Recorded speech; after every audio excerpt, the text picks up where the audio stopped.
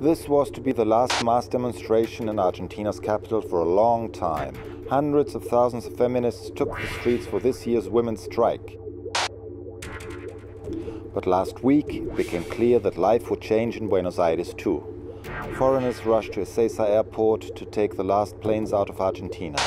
The day before the quarantine, desperate street vendors, empty bookshops, closed cafes and hotels, this is iconic Hotel Bauen, a self-managed cooperative meeting point of left groups.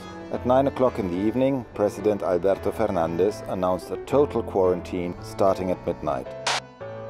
Before and during the corona crisis, the center-left Argentine government has been by far the most responsible in America.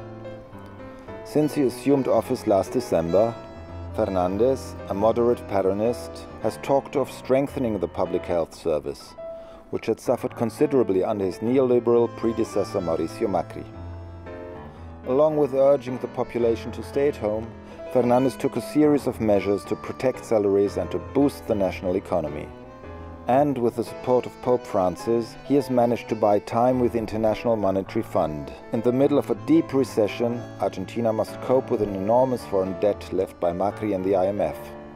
With a staggering 40% of the population, some 16 million people, below the poverty line. Recently, the president said, Between the economy and life, I choose life. In fact, he has to work on both. On day two of the quarantine, the streets of Buenos Aires were pretty empty.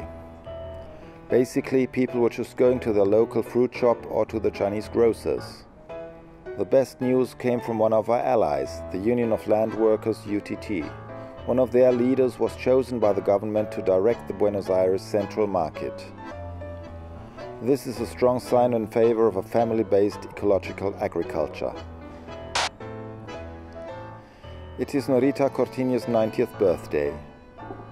Norita, a founding member of the Plaza de Mayo Mothers and probably the country's most famous human rights activist, had called for today's demonstration for the right to water and she wanted to march along with hundreds of thousands on the 24th of March to keep alive the memory of the dictatorship who murdered her son and crippled Argentina from 1976 to 1983.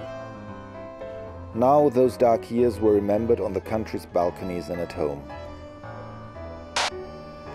My newsstand is still open, but nobody knows for how long. The daily Pagina Doce describes the situation in the capital's vast poor areas where social isolation is more difficult. Here the health infrastructure is very precarious. Concrete solidarity is the big challenge and Argentina is willing to face it.